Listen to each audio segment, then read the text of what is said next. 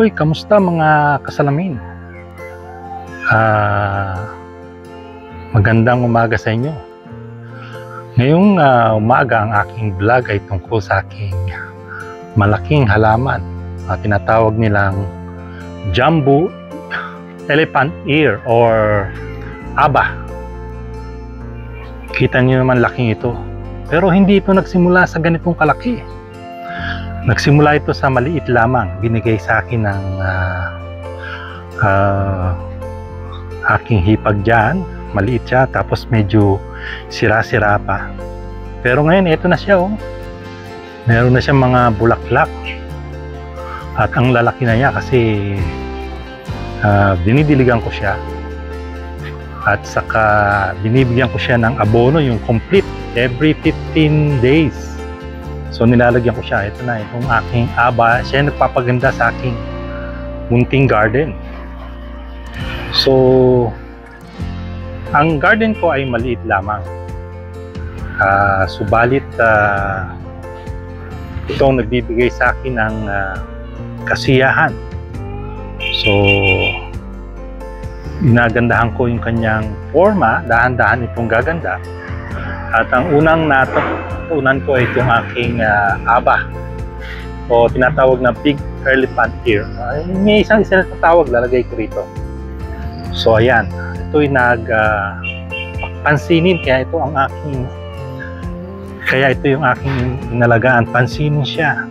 At nung mga pandemic, kasi dumating kami nung November, ah, October 20 2019 dito sa Pilipinas. At uh, pinagawa nga pinagawa ko nga tong ah, bahay na to at ang aking mga gate. Ngayon ako yung may nag-garden.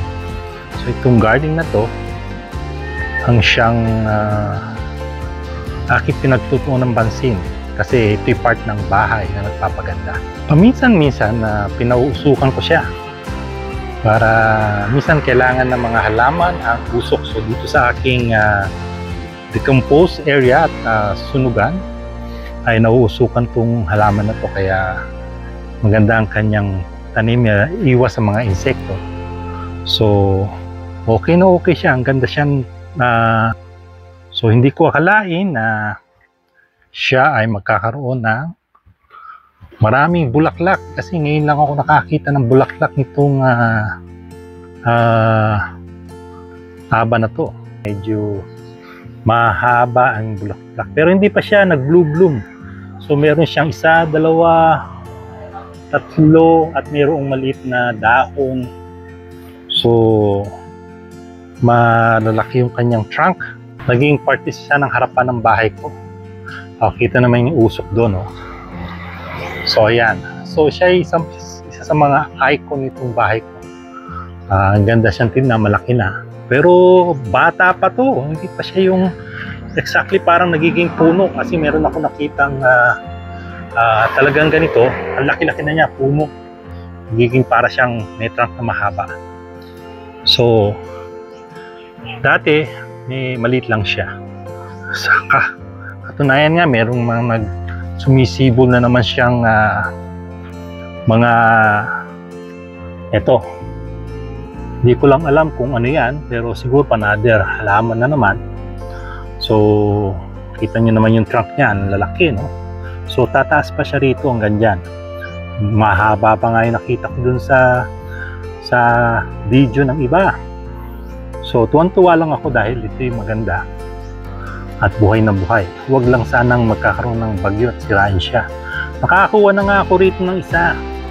Uh, meron na siyang sumibol so na-harvest ko na siya. So tinanim ko doon sa isa kong uh, uh, meron akong uh, water feature doon. Ito yung pinutol ko doon sa ano sa aking uh, malaking aba ngayon medyo malaki na rin siya. Small garden ito si Boy Ray-Ban Nawa na gusto nyo, don't forget to like, share, and subscribe. Aking channel, kami ng aking misis ay uh, retirely. Uh, mahilig kami mag-explore at mag uh, uh, mag food trip. Kaya don't forget to watch my my video. And this is Boy Redan, Rayban. God bless and see you again.